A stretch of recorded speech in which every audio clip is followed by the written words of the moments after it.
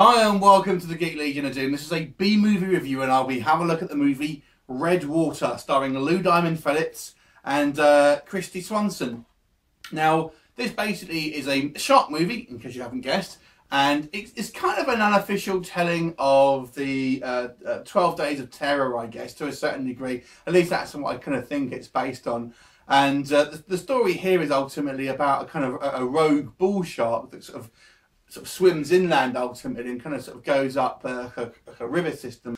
And of course, on the way, he's sort of eating various locals, and it's up to sort of Lou Diamond Phillips um, and his kind of ex-wife is played by Kristy Swanson, who, who of trying to try and stop it ultimately. And um, you know, it kind of follows the sort of traditional path of these sort of B movie low low budget sort of B movie uh, shark movies. I mean, the shark itself is for the most part kind of CGI creation. But I have to say, I mean, on, on the plus side, it kind of takes itself relatively seriously.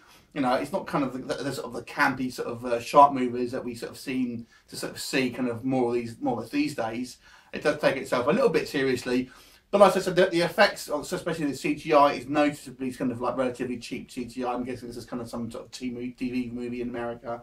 And I have to say the the um, the cast as well I honestly don't think Lou Diamond Phillips and uh, Kristy Swanson are, are, particularly charismatic sort of leading leading sort of actors ultimately. And unfortunately, it really does have a, a very sort of distinctive sort of TV feel and kind of a more of just a humdrum kind of uh, you know presentation to it and kind of you know so it makes it a very average movie. I mean, if you're a die-hard shark movie fan, I think there's, there are worse shark films than this.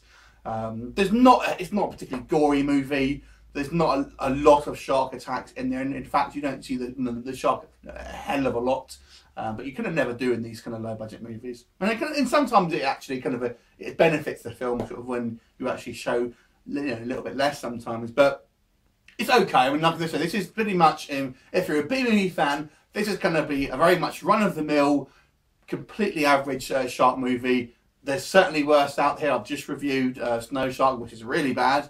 But this one I would say is going to be a 5 out of 10. It's not bad, but it's kind of a, just a, you know, it's very forgettable ultimately. It's probably not a film you're going to want to pop in your DVD player again. So I'm going to give it a 5 out of 10. Have you seen it? What do you think of it? Leave me a comment. I'll look forward to seeing you next time. Bye for now.